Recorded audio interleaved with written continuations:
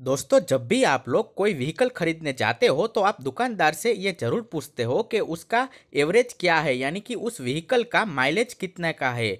कुछ लोग इसे एवरेज बोलते हैं और कुछ लोग इसे माइलेज भी बोलते हैं।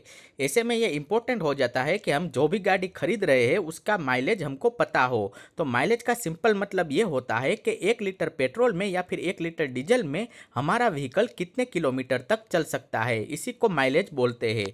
तो आज के इस वीडियो में हम इसी के बारे में बात करेंगे तो वीडियो को पूरा लास्ट तक ज़रूर देखिएगा।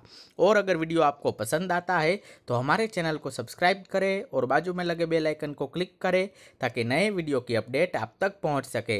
तो हेलो दोस्तों, मेरा नाम है एजाज और आज के इस वीडियो में हम बात करेंगे कि किसी भी व्हीकल का माइलेज कैसे निकालते हैं। लेकिन इससे पहले आप लोग मुझे नीचे कमेंट करके इतना ज़रूर बताइए कि आप लोगों के पास कौन सा व्हीकल है। दोस्तों, अब जान लेते हैं कि व्हीकल का माइलेज कैसे निकालते हैं। तो जब भी आप बाइक या कार को खरीदने जाते हैं तो सबसे पहले गाड़ी की माइलेज के बारे में ही आप पूछते हैं दुकानदार से। क्योंकि ज़्यादातर लोग ये चाहते हैं कि ज़्यादा से ज़्यादा माइलेज वाली गाड़ी वो खरीद सके।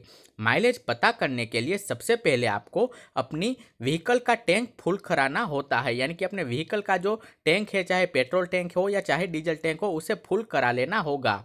और जब भी आप पेट्रोल भराते हैं तो ध्यान रखिए कि हर बार एक ही ब्रांड का फ्यूल भराए क्योंकि इसे चेंज करते रहने से भी माइलेज में अंतर आ सकता है।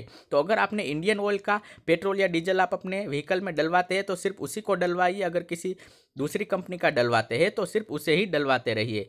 गाड़ी में पेट्रोल भराते समय आप गाड़ी कितने किलोमीटर चली है, उसे नोट करके उसके बाद रख लीजिए और उसके बाद ही आपको टैंक फुल करवा लेना है।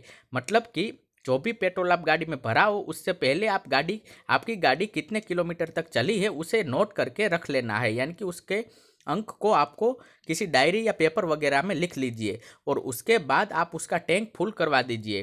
फिर जब भी फ्यूल आधा रह जाएगा तो फिर से आप टैंक फुल करा लीजिए और इसमें आपको नोट करना होगा कि पिछली बार कार कितने किलोमीटर चली थी। और दूसरी बार में कार कितने लीटर फ्यूल डाला गया है, इतना आपको पता लगाना होगा। आपकी कार की चली गई दूरी और दूसरी बार भराए गए फ्यूल से अगर आप डिवाइड कर देंगे तो आपकी कार की माइलेज निकल आएगी।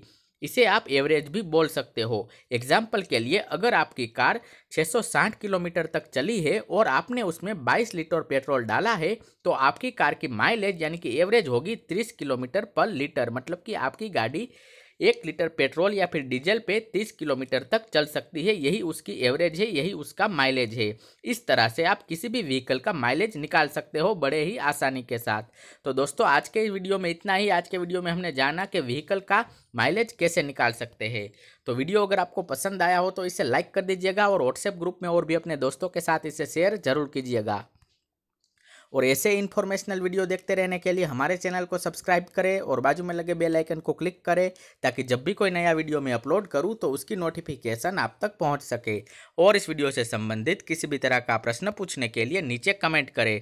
दोस्तों, अगर आप लोग चाहते हो कि आपके किसी टॉपिक के ऊपर भी मैं कोई वीडियो बनाऊँ तो वो टॉपिक आप नीचे कमेंट बॉक्स में लिख सकते हो।